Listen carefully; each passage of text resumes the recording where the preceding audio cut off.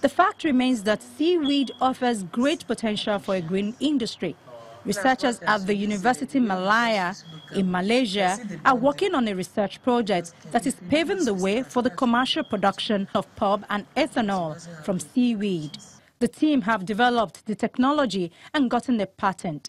To get pulp from red seaweed they harvested from South Korea, the team only cooked it at 100 degrees Celsius for two hours using only water. The reason they say is that the red seaweed has no lignin, unlike the species used at the Mountaintop University. In as much as in pulping, uh, to a large extent, we don't really need the lignin. But there are other uh, uh, um, processes that lignin can be utilized. For now, we may say we don't need the lignin, but lignin synthesis could be used for other products. There are phenolic materials they are polymeric materials. They have a way of encap, uh, um, shielding the cellulose, but we have to break them down to release the cellulose fiber. So during the pulping, both the lignin, the cooking liquor, and the extractives, they all formed, they are left behind as the, uh, the cooking liquor, what is left. But our main interest is the uh, the fibers, which is the cellulose. But these scientists say the good news is that this seaweed is known to absorb far larger quantities of carbon dioxide than land plants. The process by which pulping is produced from it is far more environmentally friendly than the process of making wood pulp. Land is already in shortage because of population growth. Arable land is decreasing as our forests Experts warn it is time to stop cutting down trees to make pulp and paper. They call seaweeds as the material for the future. The process is sustainable, they say. It presents no conflict with tropical rainforests because the seaweeds grow on the waterways. And as they grow, they photosynthesize and remove carbon from the environment. They argue that a business that is cultivating large areas of seaweed is removing carbon and can, in fact, sell carbon credits to make money. And seaweed is very good at removing excess nutrients from water, which helps clean the sea. The researchers at the Mountaintop University is hoping to scale up soon, although they are mindful of the challenges they face. You know, here we consume a lot of papers. For exam, writing papers, writing notes, writing reports, and we buy a lot of this paper. Once we start producing, and it's of standard, and we use it, of course, we will use our own first, you know, to experiment. And then buying will be reduced. And once we are satisfied everything is all right, then we start producing more to sell. The paper we have made, um, we could use it for packaging, like the unbleached kraft pulp.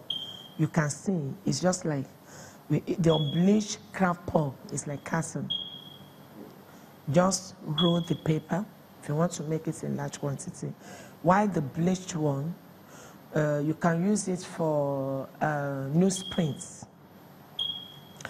based on the, the additives to increase the strength properties and the tensile properties. You can really do some morphological properties, strength properties of the fiber to determine the best use that each of the papers can be used.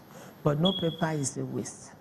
You can also do a combination of these, uh, the types of paper you have done, either from the short fibers, the long fibers, you can get paper from the seaweed, you get paper from the sawdust, and mix them under stock preparation to get any particular uh, desired product one may need. Those who monitor the paper industry in Nigeria said the reality is that Nigeria is not yet in a position to manufacture paper in a commercially viable way without dependency on imported pulp. The country is probably about 10 years away from producing paper from pulp because it lacks sustainable raw material resources, apart from the operational, technical, and infrastructural challenges. Experts say there is no forest in the country that has pulpwood in sufficient quantities to meet the demands of the paper industry. The solution is for the state government to begin to take a critical look at the use of forests and to urgently address the issue of deforestation. About 90% of papers used to produce newspapers in the country are imported.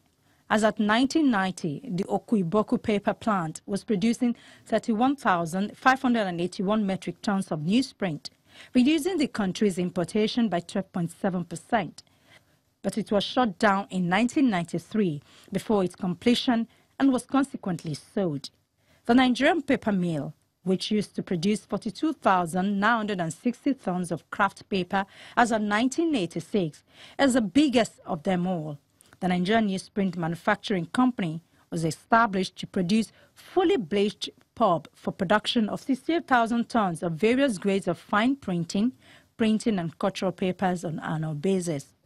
Reports say that with initial dependence on imported long fiber pulp, the mill was planned to produce long fiber pulp from pinus species established in plantations in different locations in the country.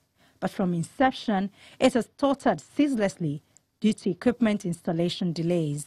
Another key challenge faced by the investors is their inability to source long fiber trees. Here in Nigeria, most of the tropical region, we have short fibers while in the Western world, where you have a lot of soft a wood, if you're talking about the wood products, you have your long fibers, you can actually mix them. But the seaweed waste contain a lot of long fibers.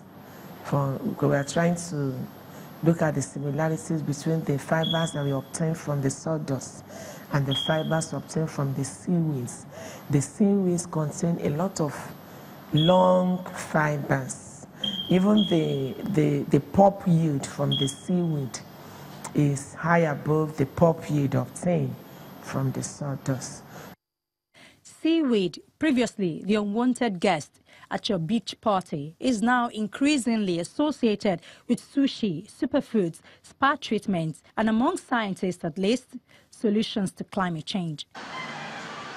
Even invasive plants like the water hyacinth, which has caused so much problems in Nigeria, has been found to be useful. Water hyacinth thrives in a polluted water body. The research showed that the roots of this plant can actually trap um, pollutants like nitrogen, lead, mercury. And um, when you wake up in the morning, you see it very blossom. And it will all cover the water bodies. Sometimes anybody that wants to maybe do something on it, it will be so crowded. So that's why it can act as a disturbance.